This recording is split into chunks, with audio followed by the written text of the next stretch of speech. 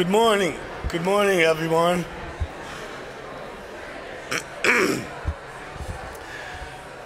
I don't have as much of a voice as usual, but it's so great to have you all with us on this official first Sunday in Christmas.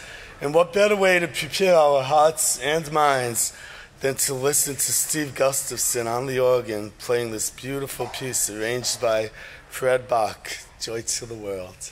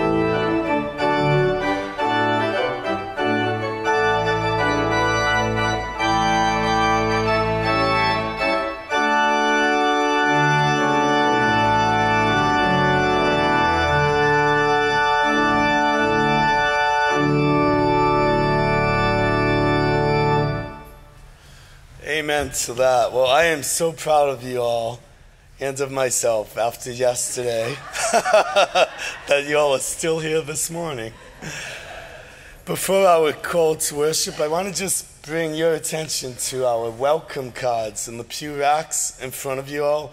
If any of you all are new with us today, please fill out the I'm new here welcome panel within that card and drop it in the offertory plate later on in our worship gathering. And also, speaking of the offertory plate, another thing you could drop into that, besides your financial giving, as we give back to God from all He's provided for us, is a prayer card. Do you all know that we have over 240 people in this church family who receive our prayer requests and praise sheets every Friday? So every week there are over 240 committed prayer partners lifting up y'all's prayers and praises to the God who created the universe and created you and is able to do whatever it takes to bless you and to respond to you and to draw you to Him. So please be thinking about any prayer requests or praise, and we will lift them up together later on, and then they'll be lifted up all week through prayer meetings, staff meetings, elders meetings, and, and so on. And now please stand for our call to worship, printed in y'all's bulletins based on Isaiah chapter 60 and Luke chap- and John, Luke chapter 1 and John chapter 1. Arise, shine, for your light has come. Nations shall come to your light. The day spring from on high has visited us.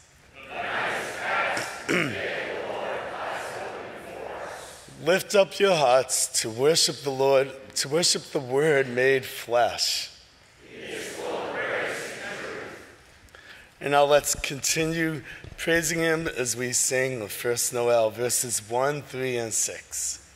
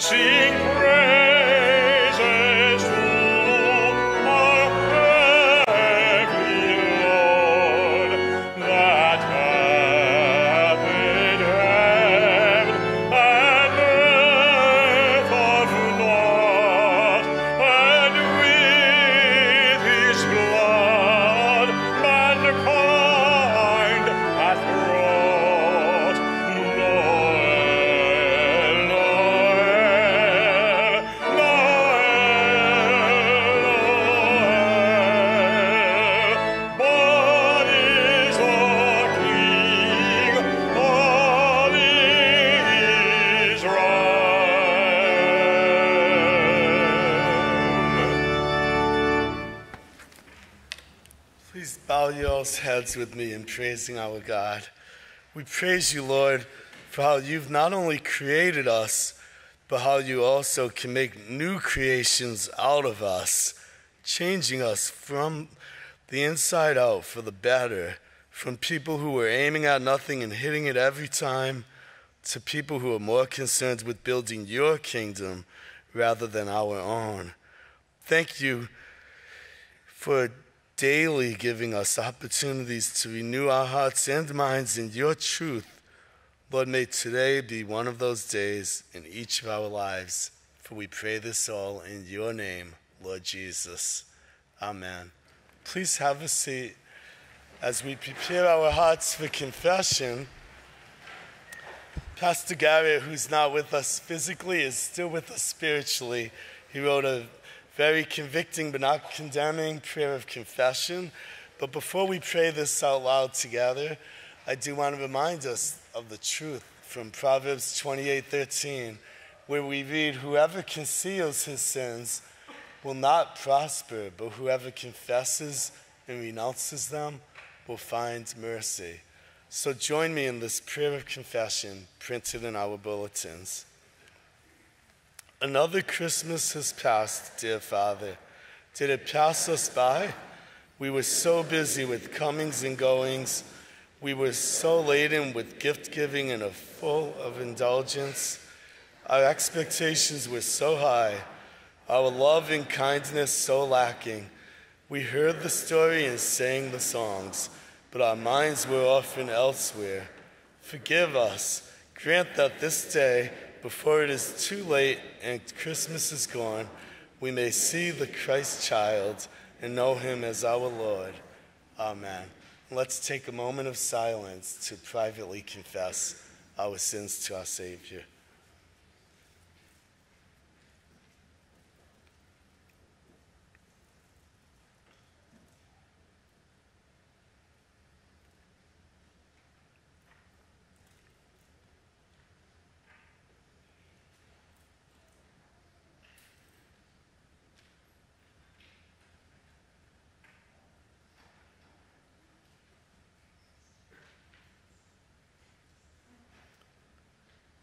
Lord, we give you these sins and even the sins about which we are not aware.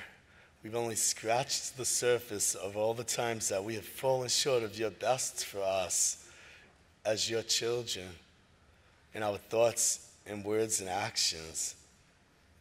And so we thank you, Lord, that these things will not be held against us as we freely accept your gift of paying the debt on behalf of us, that we may go free, free to live for you and not ourselves. So help us to do so.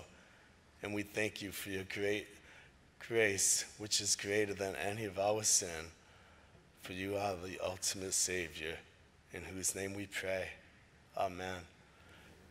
Our special guest preacher a little later on is going to be sharing from words written by the Apostle Paul, but I love what the Apostle Peter said in regard to forgiveness. In Acts chapter 10, verse 43, he put it this way He said, All the prophets, leading all the way up to the time that Christ took on human form and came to the earth in order to bring us eventually to heaven.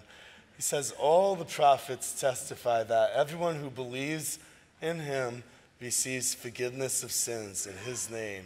So, brothers and sisters in Christ, you are forgiven.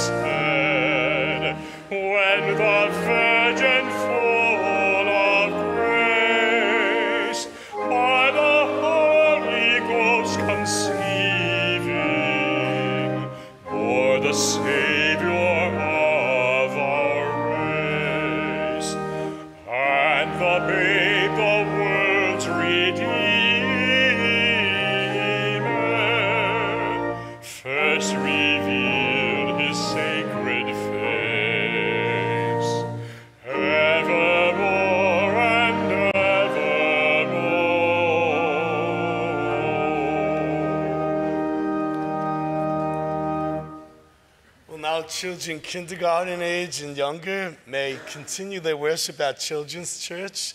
We have our sweet teachers who will be waiting for you up front. And let's the rest of us greet one another for a couple moments.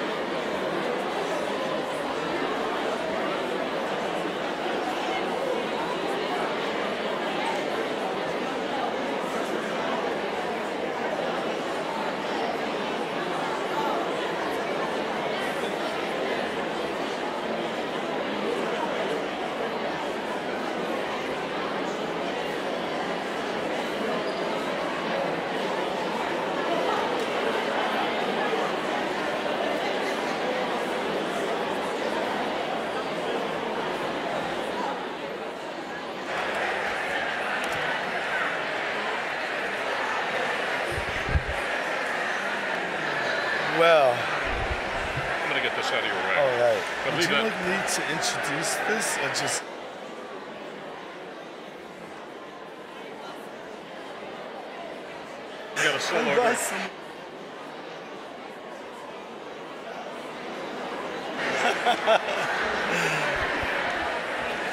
well, well, we can never be accused of not being a friendly church.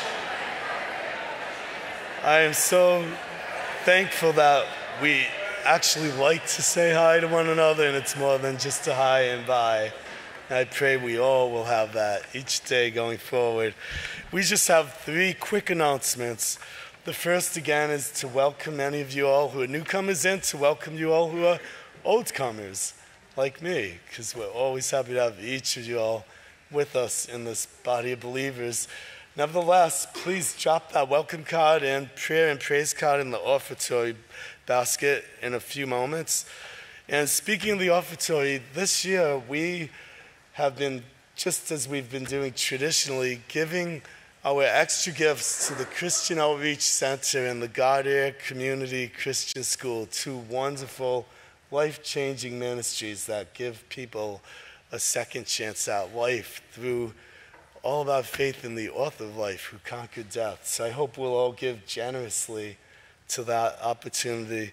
And finally, we will have a stay treat coming up, and Pastor Gerrit is going to be doing a few little intros to the stay treat over the next three Sundays in three different Sunday school classes. So we'd love for any of you all to join us who can make it. The details are in your bulletin. And now let's pray for our offertory. Dear Lord, touch our hearts and minds that we give back to you from all you've provided for us, not motivated by guilt and obligation, but by joy and thanksgiving And you, the greatest gift giver of all. For we pray this all in your name, Lord Jesus. Amen. Ushers, please come forward for the offertory. Oh, we are all going forward. Is that what we decided?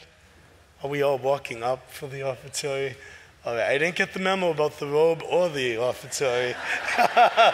so we're gonna we're gonna come forward to bring our tithes and offerings and prayers and praise cards to the baskets up front in the middle of the sanctuary. Thank you all.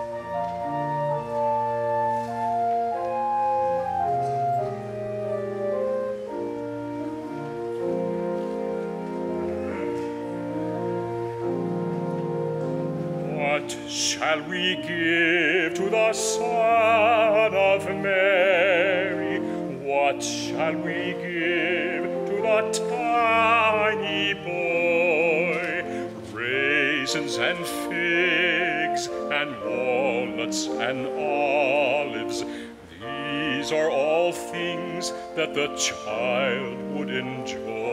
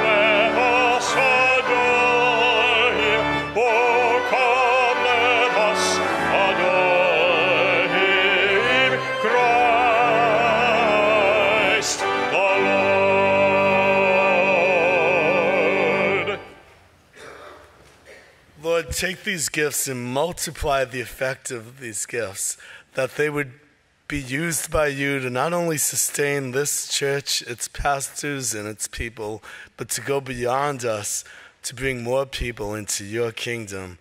For we pray this for your glory. Amen.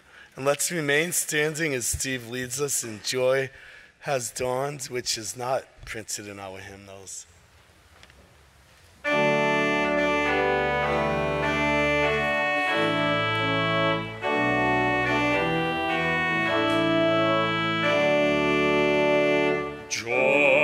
Has dawned upon the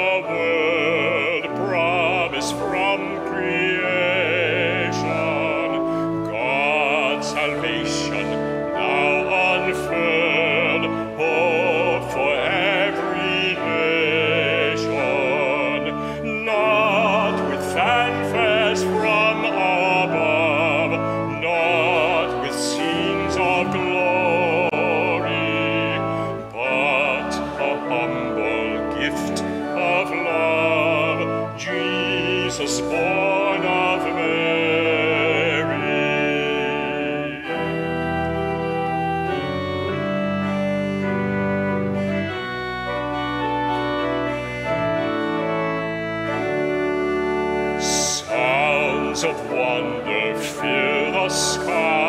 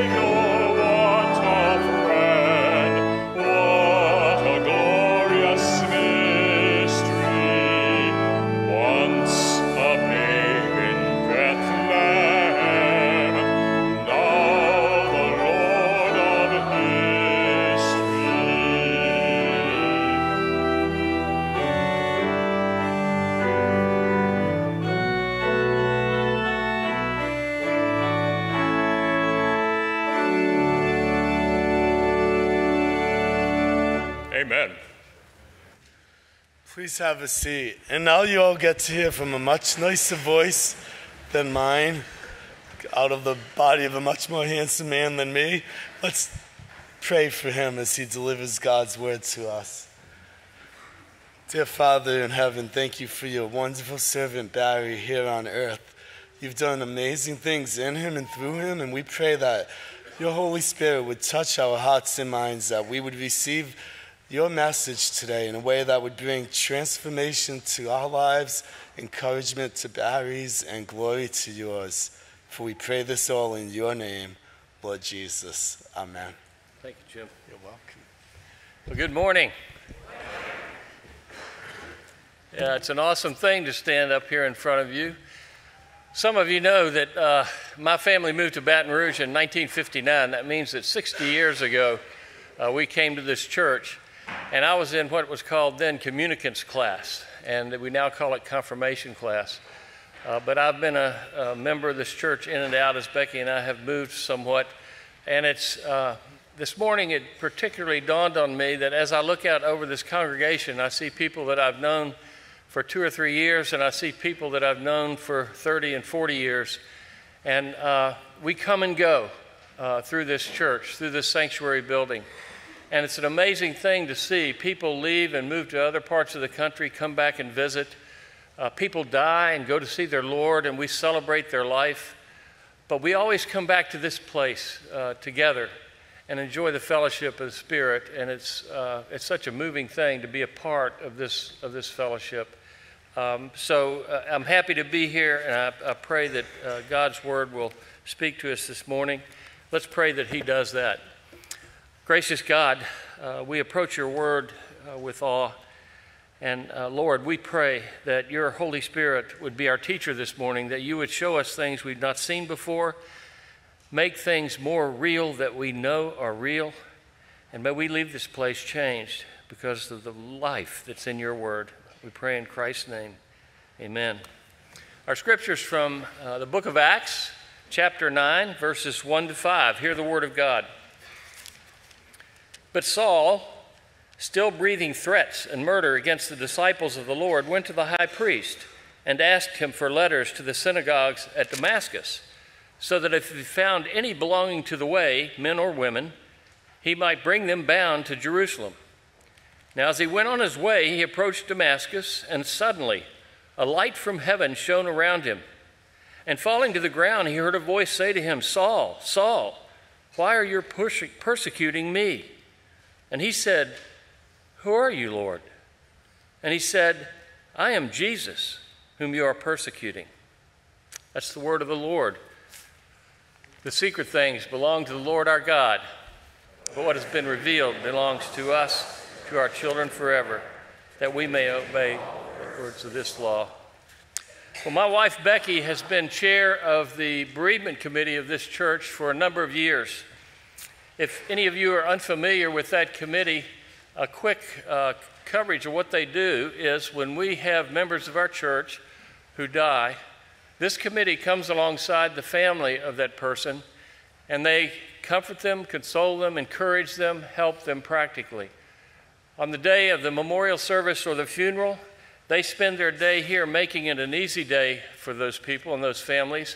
And they greet the people of Baton Rouge and the members of this fellowship who come to celebrate the life of the person who has died.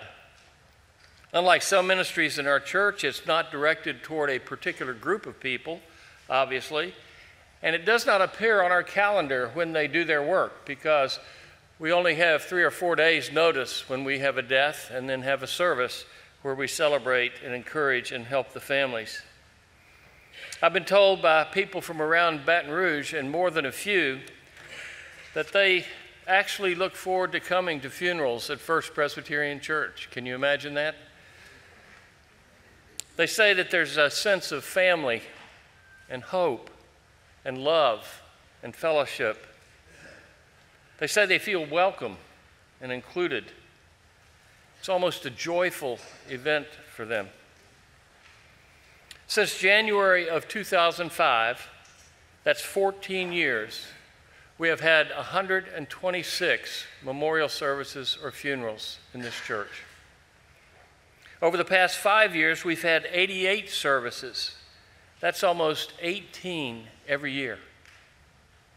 Since Jim Solomon joined us three and a half years ago, his pastoral care ministry has been involved in ministering to over 166 families. 61 of those were members of our church who died.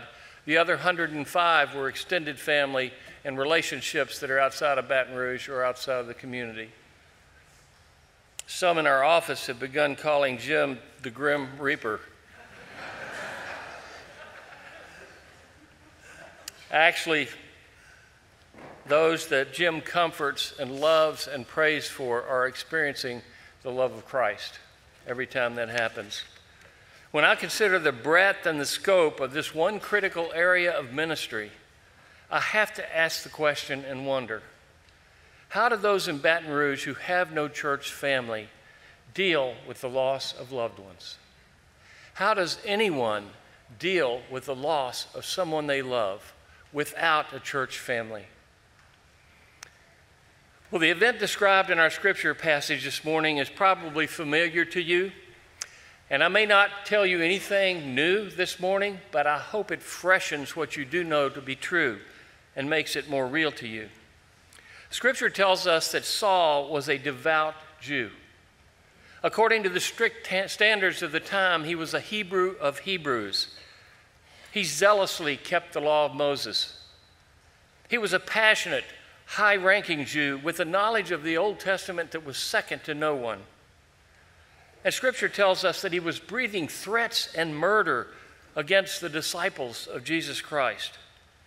He had persecuted them, placed many in prison, and even authorized the execution of many. He was on a mission of cleansing the world of those who would follow this supposed Messiah, Jesus Christ and he was relentless in his work. He authorized the stoning of the Apostle Stephen and stood by while his murder was carried out. He was authorized by the high priest to track down and imprison and persecute the followers of Christ into Damascus. And it's on the road to Damascus that we find Saul when he meets the risen Christ. Luke's words are this these. Now, as he went on his way, he approached Damascus, and suddenly a light from heaven flashed around him. And falling to the ground, he heard a voice saying to him, Saul, Saul, why are you persecuting me? And he said, Who are you, Lord?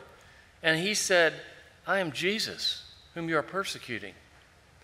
Luke thought this account so important that he records it two more times in the book of Acts. In Acts chapter 22, when he was confronted by a mob that was out to kill him, Paul says this, according to Luke As I was on my way to Damascus about noon, a great light from heaven suddenly shone around me, and I fell to the ground and heard a voice saying to me, Saul, Saul, why are you persecuting me? And I answered, Who are you, Lord? And he said to me, I'm Jesus of Nazareth, whom you are persecuting. And then again in chapter 26 of Acts, when when Paul was making his public defense before King Agrippa, Luke records Paul's words as this these At midday, O king, I saw on the way a light from heaven, brighter than the sun, that shone around me and those who journeyed with me. And when we had all fallen to the ground, I heard a voice saying to me in the Hebrew language, Saul, Saul, why are you persecuting me? If you pay close attention, you'll see that there's something quite curious in this passage. What is so curious and what I find so interesting is that Jesus personalized Paul's persecution. Jesus personalized Paul's persecution. He did not say, Saul, Saul, why are you persecuting my disciples? Even though that is what Saul was doing. And he didn't say, Saul, why are you putting my disciples in jail. But that's exactly what Saul was doing. And yet, Saul, in doing this, was persecuting the disciples of Christ. He wasn't persecuting Christ. And yet, Christ said, Paul, you are persecuting me. Was he speaking figuratively?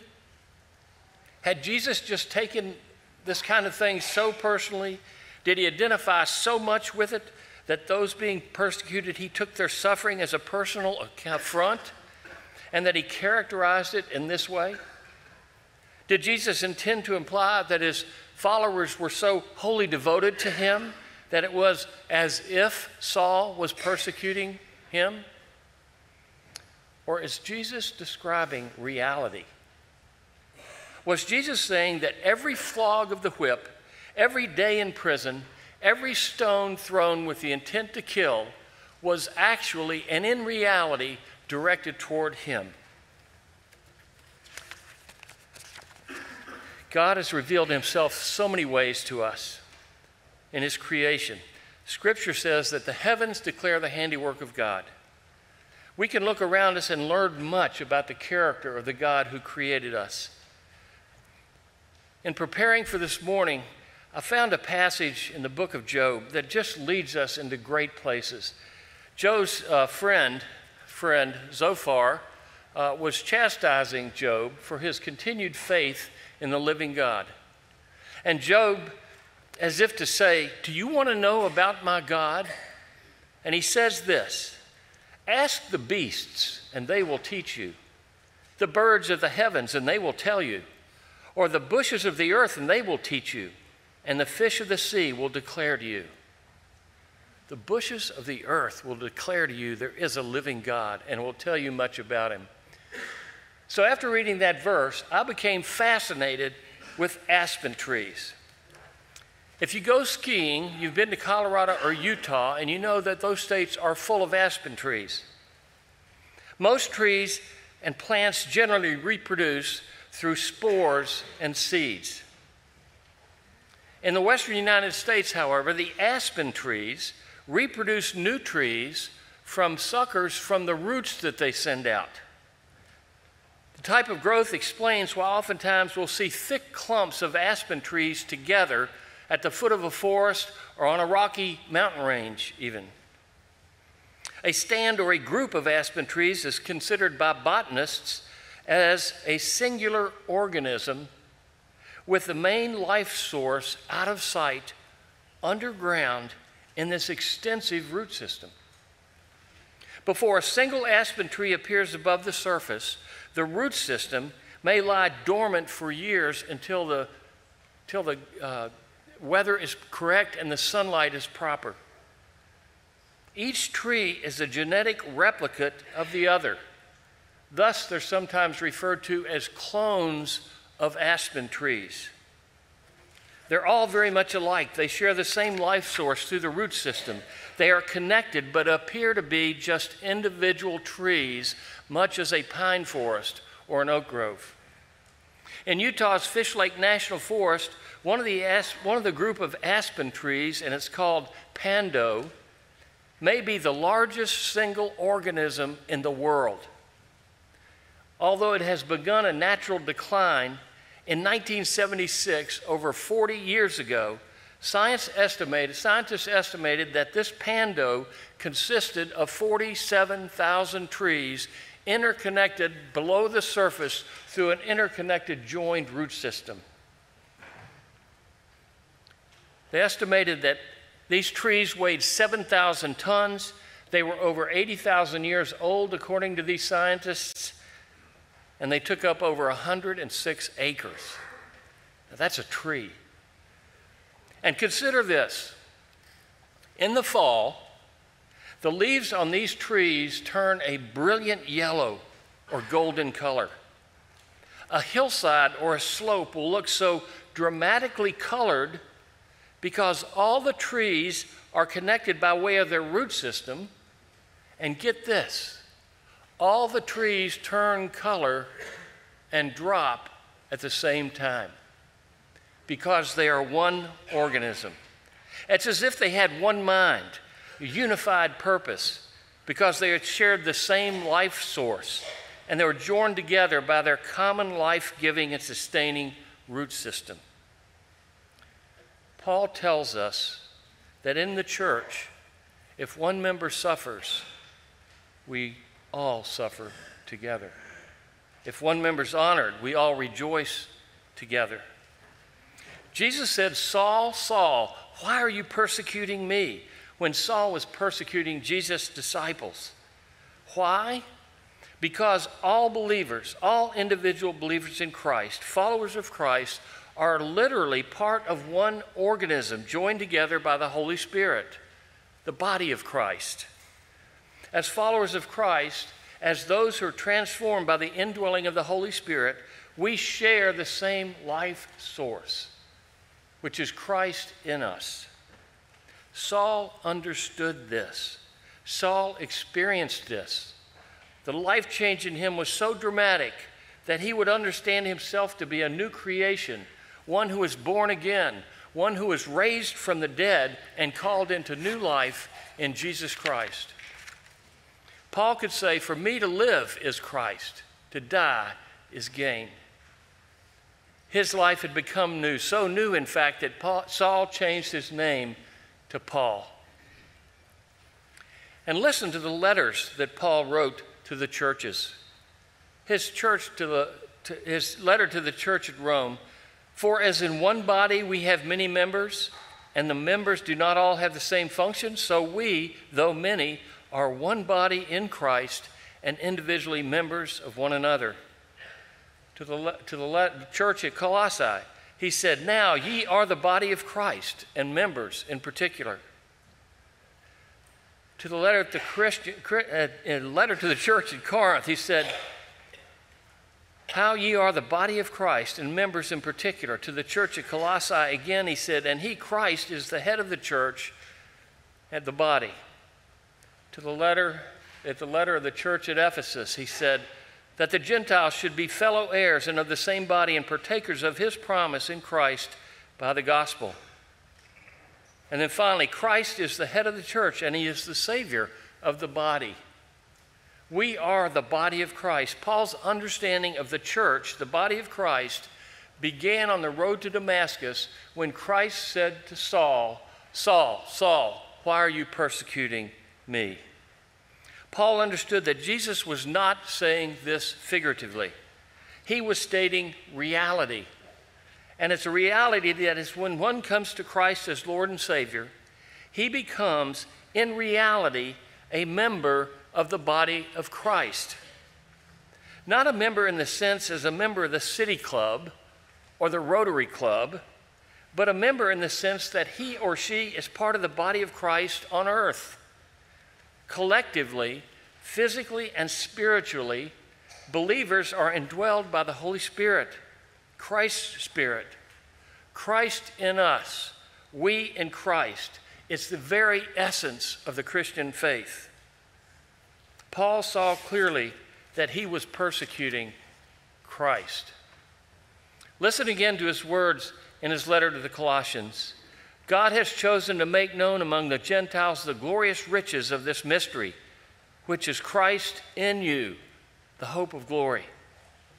And in Paul's letter to the church at Corinth, for just as the body is one and has many members, and all the members of the body, though many, are one body, so it is with Christ. For in one spirit we were all baptized into one body, Jews or Greeks, slaves or free, and all were made to drink of one spirit. For the body does not consist of one member, but of many. You are all one in Christ Jesus. You are the body of Christ, the church. All the members of the body of Christ share the same life source, the Holy Spirit. All the members of the body of Christ are literally interconnected by Christ in us. All the members of the body of Christ, in that sense, are one organi- organism the body of Christ. When the leaves fall, when one member suffers, all members suffer with them. And Paul says that this is the church, the physical presence of the body of Christ on this planet through the indwelling of the Holy Spirit in all true believers. And the church is not Presbyterian, it's not Baptist. The church is not Roman Catholic or Episcopalian. The church is not Methodist or Mennonite. The church is not Church of the Brethren or Pentecostal. It is the invisible church. It is made up of all those whose life sustaining power is within and it's unseen. It's beneath the surface, if you will. And our spiritual genetics are the same. We share the same spiritual DNA. The night before he died, Christ prayed, Father, I pray that they may all be one, just as you, Father, are in me and I in you, that they also may be in us, so that the world may believe that you have sent me. When members of the invisible church, the body of Christ, live like Christ, when we live as those indwelled by Christ through his Holy Spirit, we literally become Christ to the world. We are his hands, we are his feet, doing the work of love and redemption, grace and compassion, forgiveness and encouragement. Each of us are especially gifted in our own way from the Holy Spirit to proclaim God's truth through the world by word and by action. We show mercy and give encouragement. We teach God's word. We give generously. We show mercy and give encouragement. We teach God's word and bring wisdom to bear in difficult situations. We provide leadership and direction. We pray for one another. Working together as Christ's body on this planet, we declare to the world that Jesus Christ is Lord to the glory of God the Father. When our bereavement teams meet to welcome those who come with the love of Christ, they welcome them with the love of Christ. We are Christ to those who come. When those in Sunday school classes reach out and bring meals and encourage and be with those who have lost loved ones, they are the body of Christ working out and displaying a healthy, living body in this place. When we go into the world through the Christian Outreach Center, we are Christ to those men and women who are trying to forge a new life in this world. When we go to Gardere Community Christian School and we work with those children and those families, we are Christ to those people. When we encourage one another, when we weep and mourn together, when we share in joy of others coming to Christ, and when we pray for and with each other, we are the body of Christ, living out the life of Christ as He intended. Jesus said, Saul, Saul, why are you persecuting me? Why? Because his followers were the body of Christ then, and you are the church, the body of Christ, and members of it today. Let's pray. Gracious Father, for those who have come to a saving knowledge of Jesus Christ, may we leave this sanctuary today in full confidence that we are in Christ and He is in us. And Father, for those who have never received Christ as their Lord and Savior, we pray that your life giving Holy Spirit would draw them into new life in the body of Christ. For it's in His name that we pray. Amen.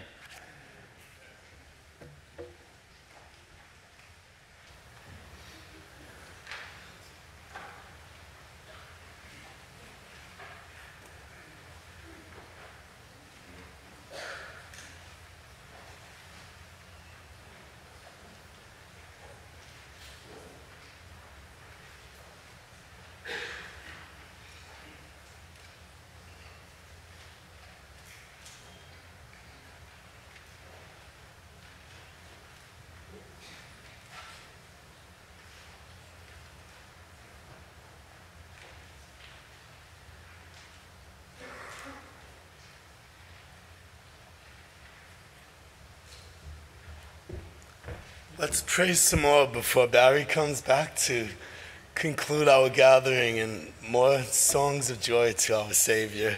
So please bow your all's heads with me. Lord, thank you so much that you are at work in us and through us, that your church is universal.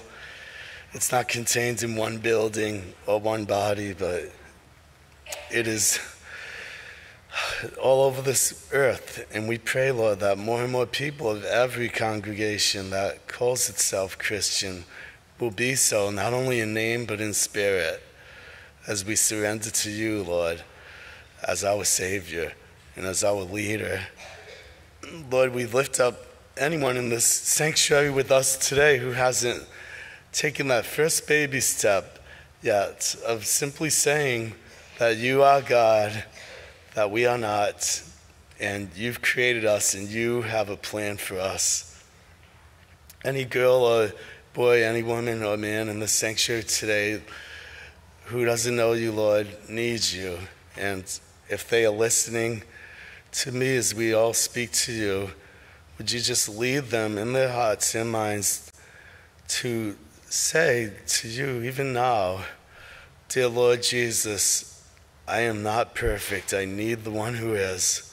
I am a sinner in need of the Savior, and I accept your death on the cross in payment for the penalties that I should have paid.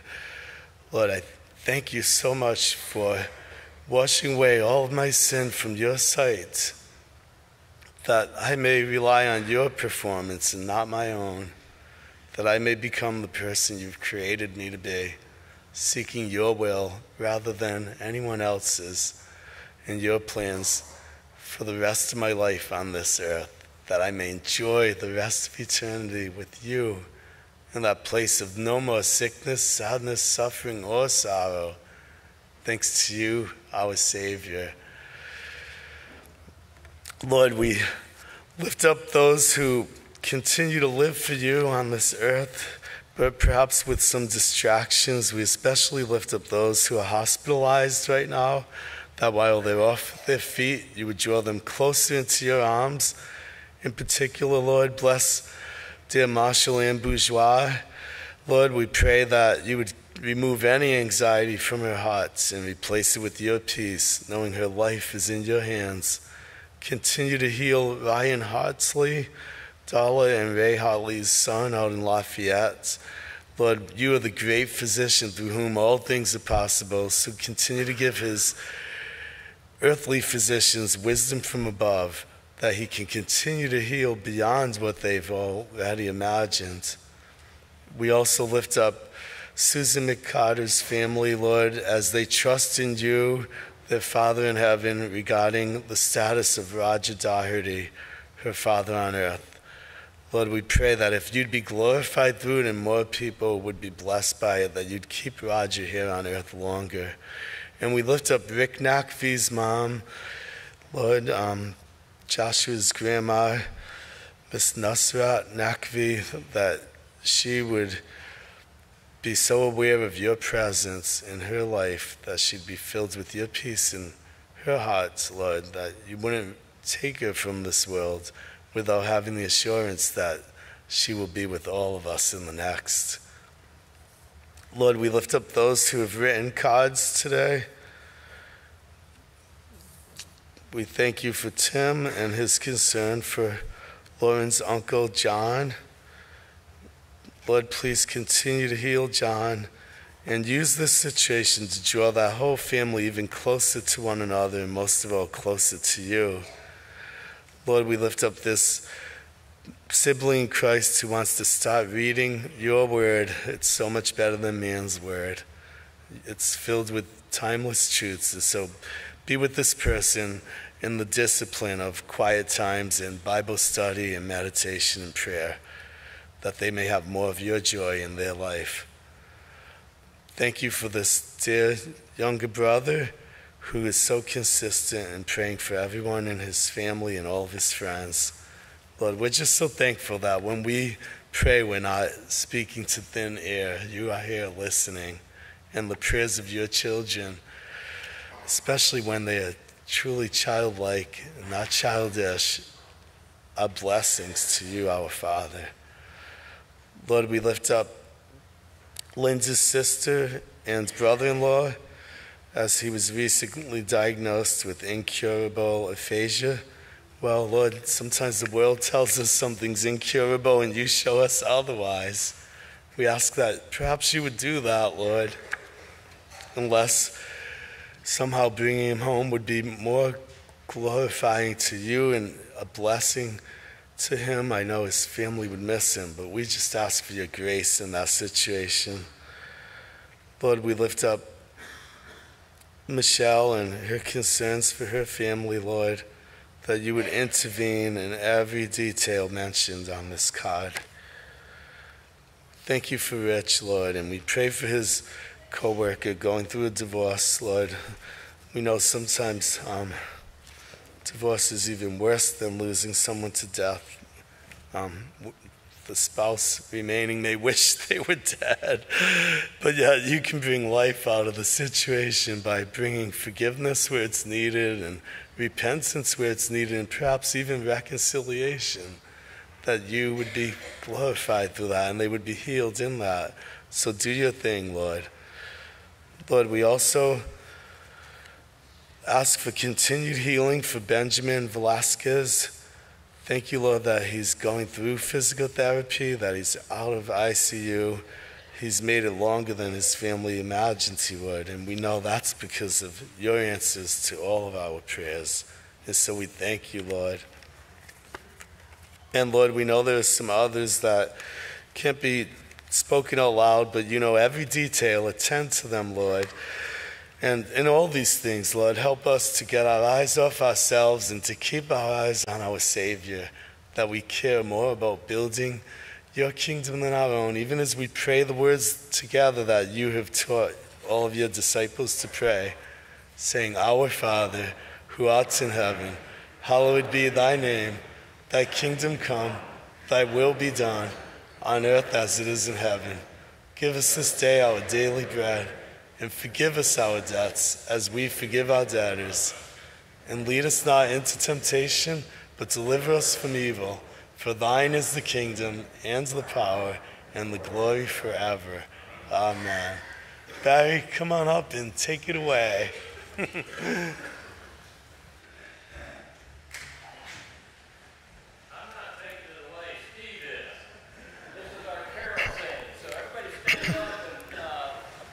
Yeah, but so when I met my wife for the first time, Lois, she introduced me to Coleridge Church in Iowa.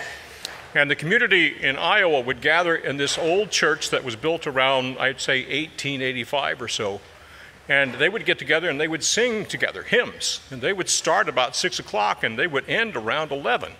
So I figured, even though it's after the hour, we can sing until our hearts are content and our voices are uh, shot. Yes, he says. So I'm going to entertain a number anywhere between, uh, what's the numbers here? Let's see. One, 125 and then 166. Any of the Christmas carols that you find in your hymnal, we'll sing one or two verses and we'll keep singing until Barry tells me to stop.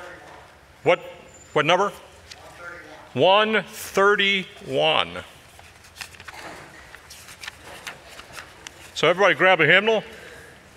Angels from the realm of glory, let's sing verses 1 and 4.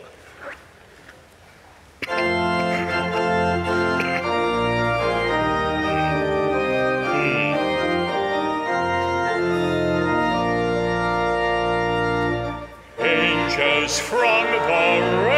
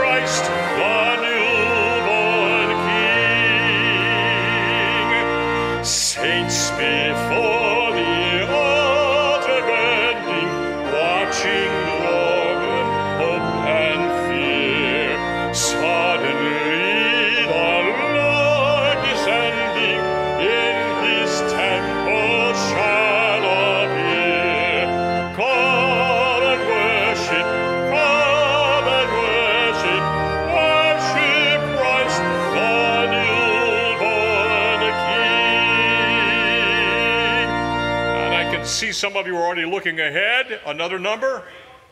The- hand in the back. 133.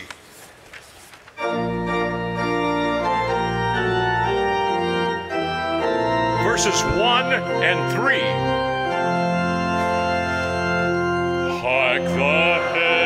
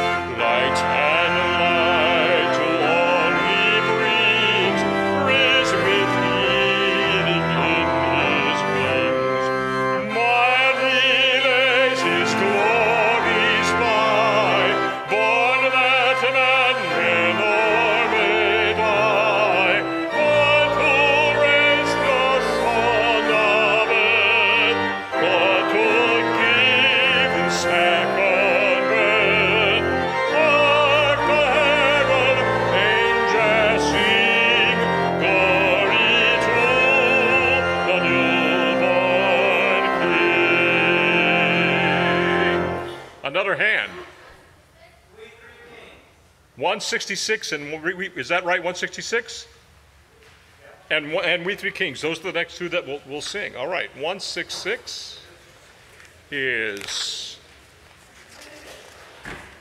we three kings. Cool.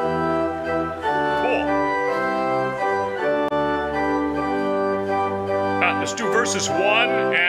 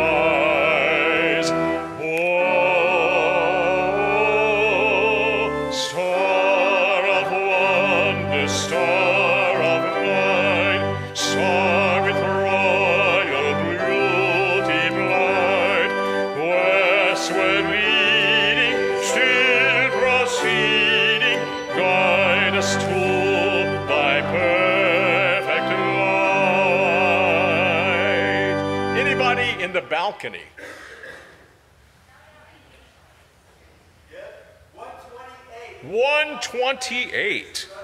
All right. Verses 1 and 4.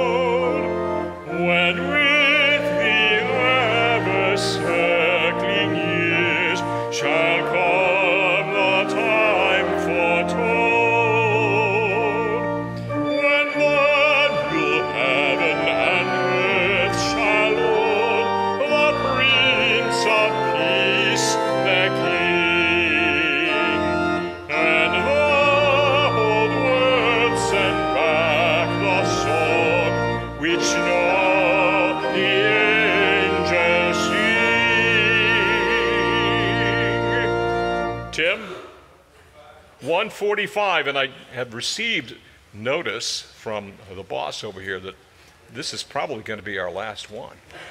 So let's sing all three verses of O Come All Ye Faithful.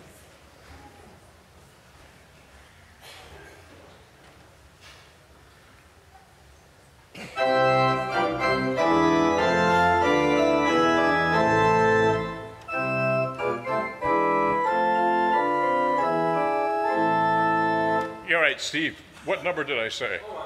That's okay. Because we're on one page and you're on another. I think one, one, 145, is that right? 145, great.